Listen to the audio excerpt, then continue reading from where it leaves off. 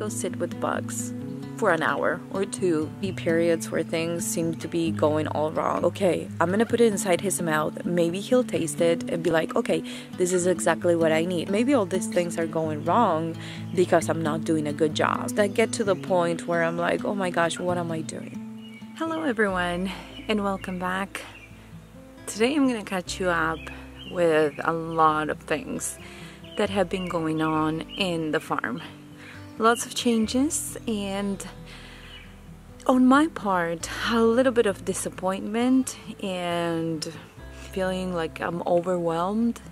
And so I decided to share with you in this video where I'm gonna catch you up on what's been happening and why I feel like I'm the worst goat owner. It's just I just feel like there's a lot that is making me feel like uh, what I'm doing is not good enough now, if you remember some time ago, I mentioned that we are going to get a new buck. And he was born, I think, March 30th.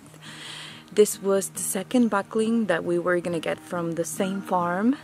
And I was just so excited about him coming um, at the beginning of June when he'd be over eight weeks. Now, when I was talking to the breeder to kind of set up a date to pick him up, they she mentioned that he took the bottle and that I could pick him up anytime. She offered some milk that she had in the freezer so I could use it because the the goats that I have right now they're not you know Clara had the quads at the time and Mocha was still pregnant and I didn't want to risk bringing a bottle baby and then have to switch his diet or something. So we arranged on a date, and that was last Monday, which was what the um, 24th of May. Anyways, he was a, a week shy of turning eight weeks old. We went to pick him up. We got there a little bit earlier because we were coming from Utah. But then when we got to the farm, the breeder the breeder was not there.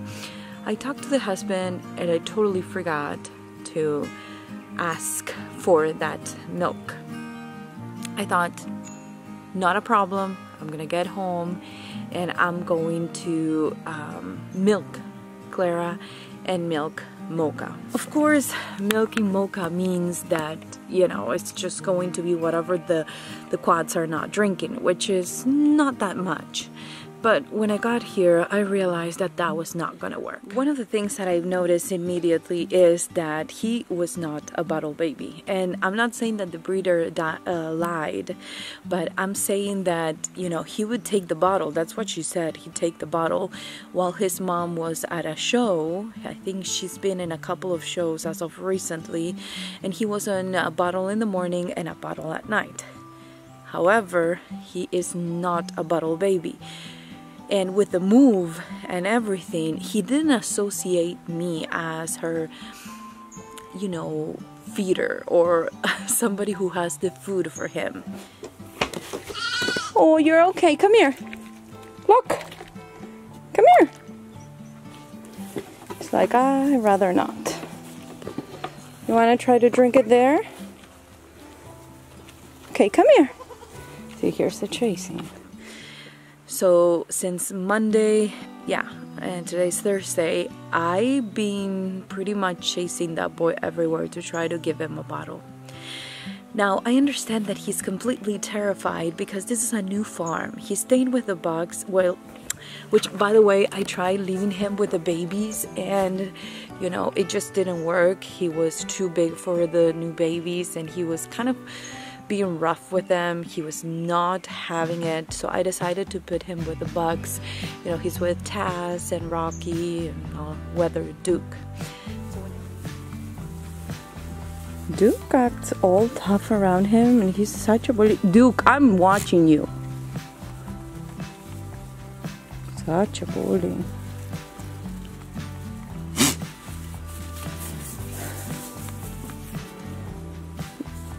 And he is kind of trying to become friends with Taz. He's trying because Taz is the underdog, so. I know. What is happening, baby? So when I moved him there, you know, I thought I'm gonna show him a bottle and he's gonna drink it immediately. But he wouldn't. Um, he didn't associate me with food, he didn't associate the bottle with food. And I had to shove it down his throat a couple of times uh, before he actually started sucking on the bottle. Now, after two or three bottles, he started understanding the idea that that's what it was, that he didn't have his mom anymore, and that the bottle was going to be his new mom, but he still didn't get it. And since Monday afternoon when we got here, I've been spending a lot of time just chasing him. Uh, he is, of course, scared because of the move, but he's not. Um, you know so human friendly or maybe he wasn't exposed to a lot of interaction with humans. I really don't know what it is. I don't know what the practices are in other farms. I know what i do with my own babies. But all i can tell you is it's been hard. He's so fast and he is so scared that he runs away from me. And the only way i can catch him is if i kind of push him into the house, you know, and that way he'll jump on a kennel that's there, and that's how I can catch him.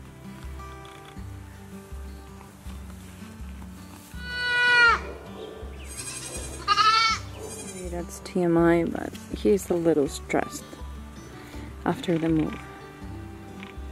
Now, since last night, and I'm saying Wednesday night, he started associating me with food.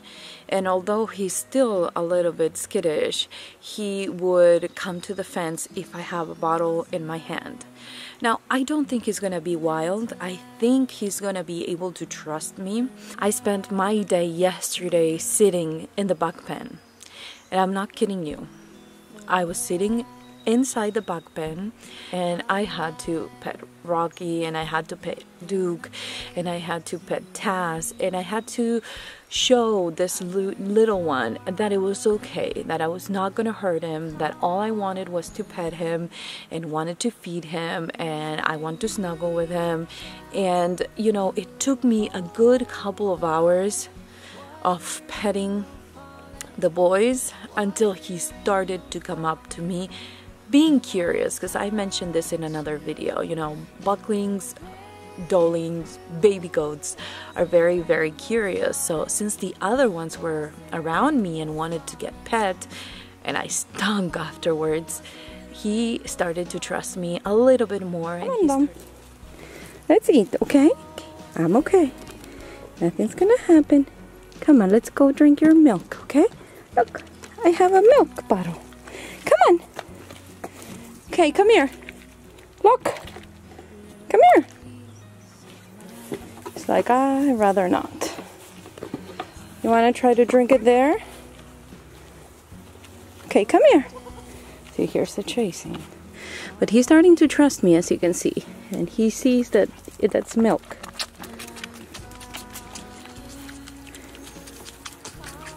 And he really wants milk. There, there. I'll bring you more later, okay? Is that yummy? I like how he licks his. Oh, now he likes me. Hi. You like, well, kind of. Not all the way though. Now, the only way I know how to tame a goat is by being gentle. And by being gentle, I mean just being walking very, very slow, no sudden movements um, speaking in a soft tone and kind of looking at them in the eyes and trying to make them understand that there's nothing wrong with me, that I'm not going to do anything bad to them, and that is safe. I am a safe person, and they can come to me and nothing bad is going to happen. That's the only way that I know how to do things. So that's why I sat on the back pen, inside the back pen, and pet the other goats because I wanted him to know that I was safe and that he was going to be safe around me.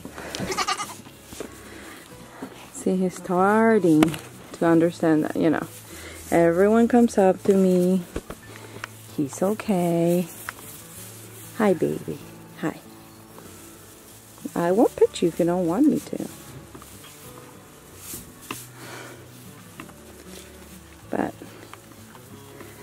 He's eating hay and uh, he is crying, of course, because he was separated from his mom last Friday, or was it Saturday that they left for the show? Her, his Duke, knock it off. He's not easily intimidated, so he'll act like he's intimidated, but then he'll go right back to it. Mm, he's like, excuse, oh, Duke. And that's why I hang around here to make sure he eats. I know, baby. It's okay. You can smell my hand. I know. Oh, you want me to pet you? Okay. If you don't want it. Do you want to be pet? No? Okay.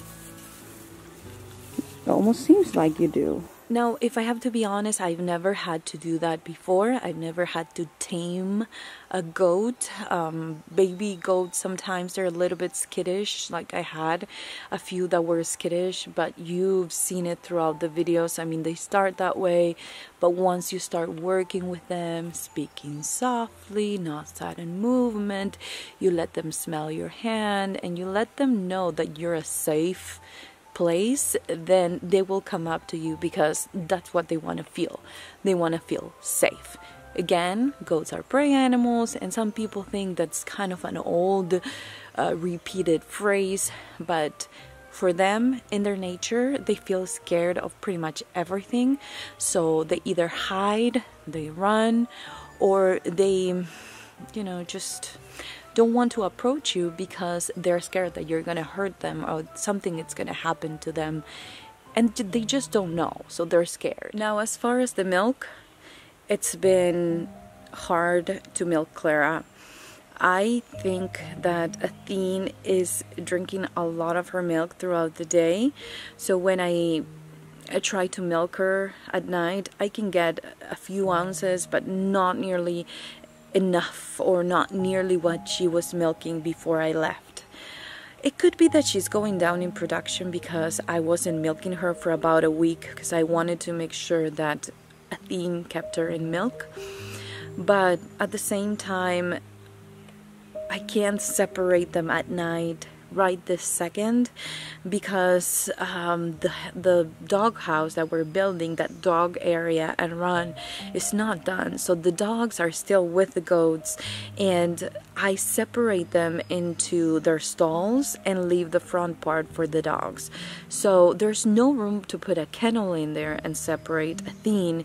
And I think it'd be also horrible to do that because you know, she is the only baby goat, so she would have to sleep by herself if I put her in a kennel. If I had the room to separate, then I could put Clara in the front and I could put Athene with the twins in another stall and being able to separate.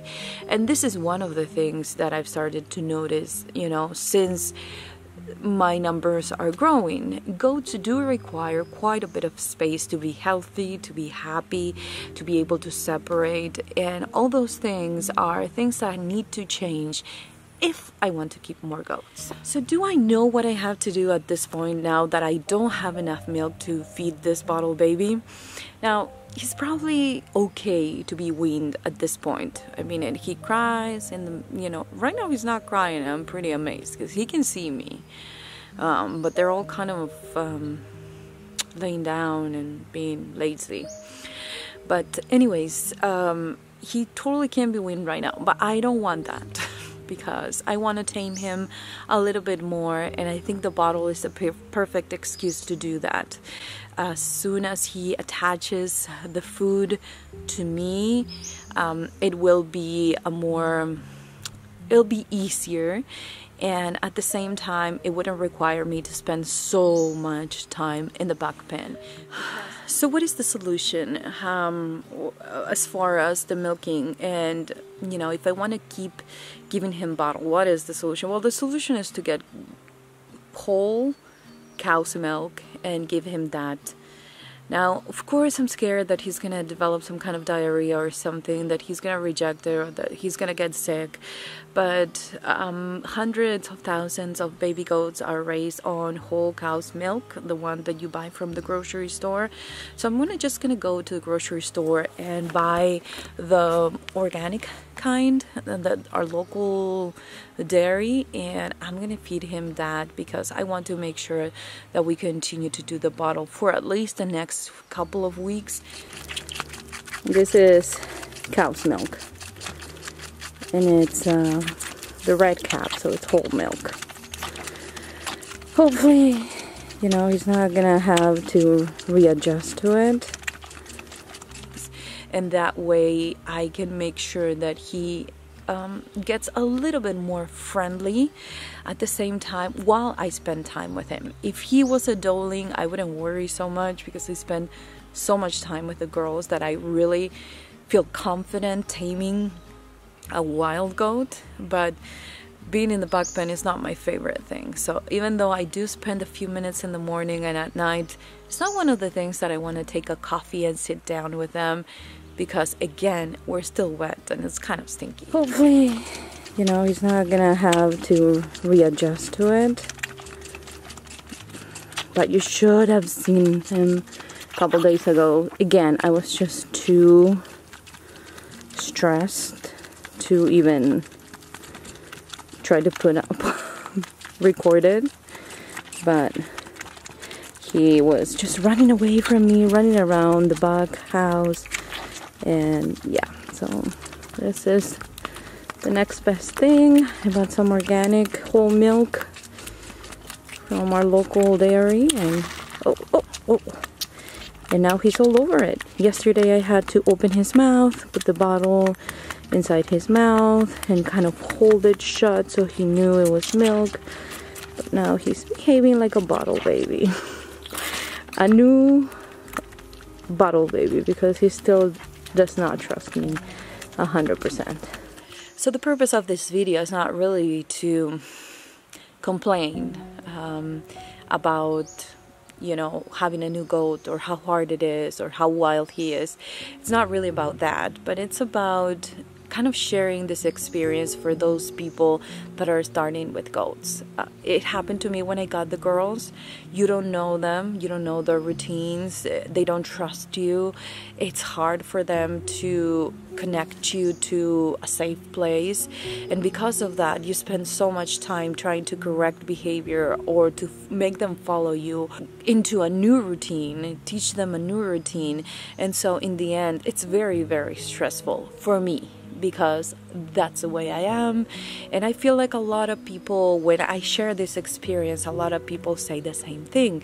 The first days are really, really hard. Even though Dom is not really that, you know, baby that I was worrying that they were gonna bully him out of the food or anything, there are certain things that are, it's taking him a while to get. Like, I feed alfalfa pellets in the morning and at night he won't eat an alfalfa pellet to, to save his life. Now he'll go and sniff them. Rocky would bully him out. So I take him out, I give him a little bowl, and he doesn't want to eat it. Yesterday, I was like, okay, I'm gonna put it inside his mouth. Maybe he'll taste it and be like, okay, this is exactly what I need. Well, guess what? He didn't want it. So he would chew on it and spit it out, chew on it and spit it out. So I'm sure he wasn't eating pellets um, at all and I don't feed grain to my boys. So, you know, not talking about grain, I'm talking about alfalfa pellets. So for him, it's kind of weird to see all the boys being so excited every morning and every night when I show up with my little container with alfalfa pellets. I want him to like the alfalfa pellets, but I know it's going to be a process. And I know that by watching the other goats, he's going to learn that behavior and he's going to learn that that's that's a good thing right now he's fighting it.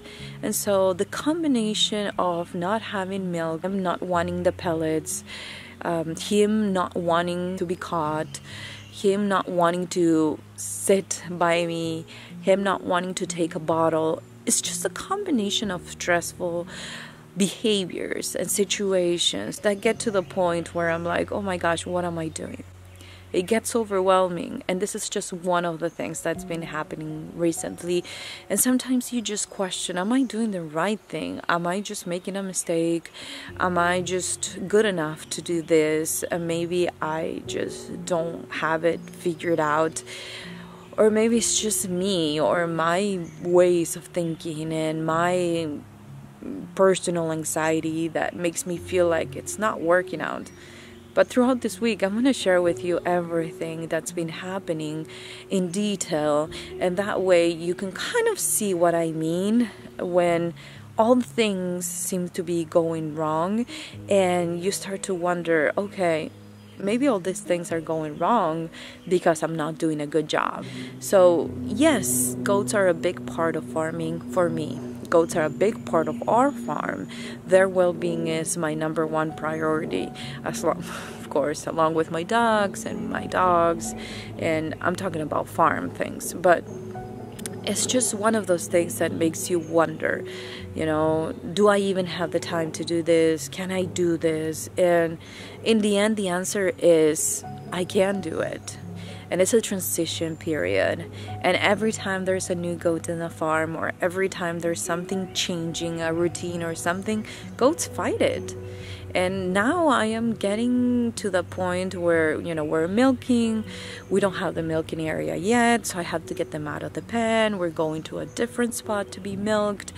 Um, and you know just all the routines happening changing at the same time it's just making it harder on me because they're just being a little bit more stubborn than usual. Now i know this is gonna pass and hopefully with this video I can share that with you. There are going to be periods where things seem to be going all wrong in all different directions, but if you're patient and if you keep working at routines and if you keep at it, things can happen. If you just ignore the problem, if you just think, oh, they're going to get over it, they're going to, no, uh, you either stick with a routine and make them understand you're in charge and this is what we're doing and they will get used to it and they will love you for it. But sometimes you know they just don't want to do things and you have to put your foot down and say this is what's happening and you're gonna be okay. You're gonna love it. You just have to get used to it so that is my update for the crazy um, transition of Dom into our farm and some of the things that created some kind of questioning in myself and my abilities. If you have a farm or if you go through these periods, maybe in other parts of your life, I love for you to share them with me in the comments down below if you feel like you want to share them with me, of course. Um, I know sometimes being vulnerable and just sharing this kind of things is not something that everyone wants to share. I'm not everyone, I'm kind of different. And part of sharing blogs, it's about being real and sharing the struggles as much as all the snuggles and all the love from our animals. So, if you're new, please remember to subscribe, like this video and hit the bell so you can be notified every time I upload a new video. I will be back to my upload schedule of Monday through Fridays at 3 p.m. Pacific time, but it would be so helpful if you can hit the notification. I'm typically in the chat. There's a premiere chat. So while the video is happening, you can talk to me about that and or anything that you want to talk. I'll be there. So it's a fun feature and I'd love for you to join us there. Thank you again to everyone that is always coming back, always leaving encouraging comments, and I'll talk to you guys next time.